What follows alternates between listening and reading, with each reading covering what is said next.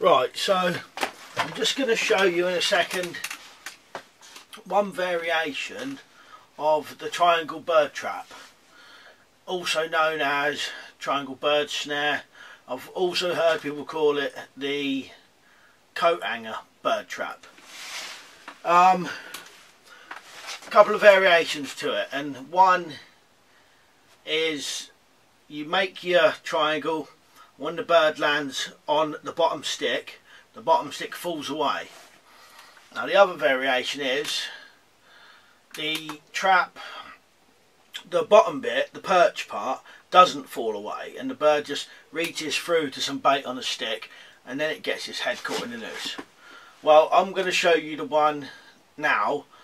I'm going to show you the one um, when the bottom doesn't fall away then later on I'll show you the other version. Now the video I made quite a small one so that would only potentially catch small birds.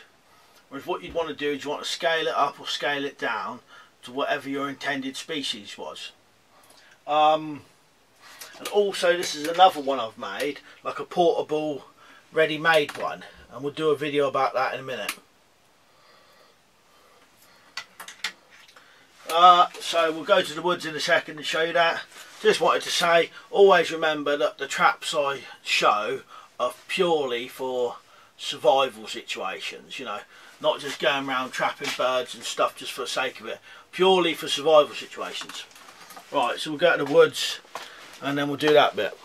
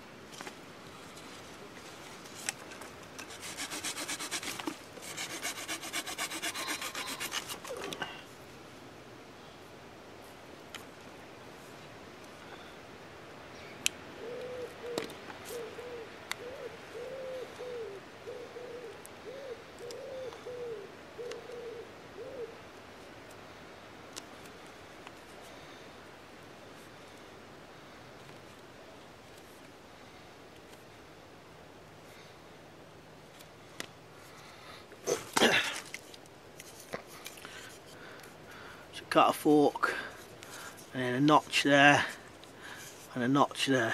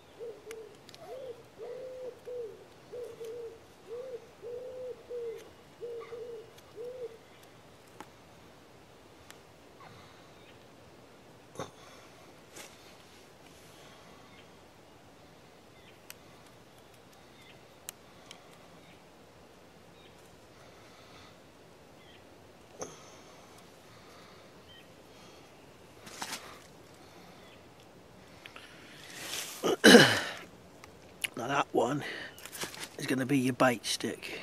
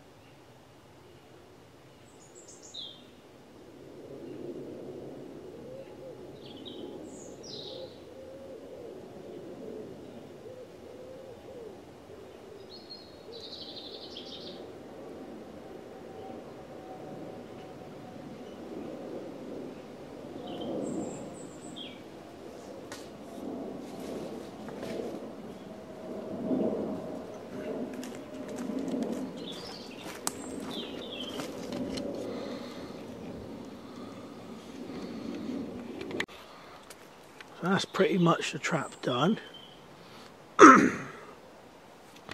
so the bait, for now I've just put a bit of, this bit of fungus, a bit of mushroom on it.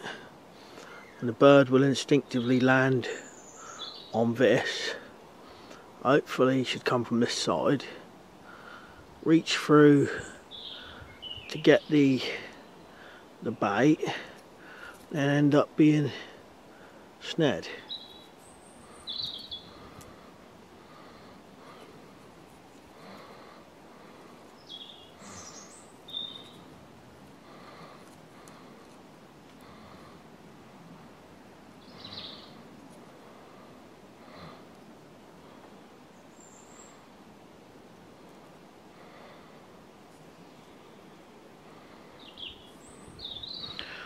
probably be better to put nuts or berries or whatever on there.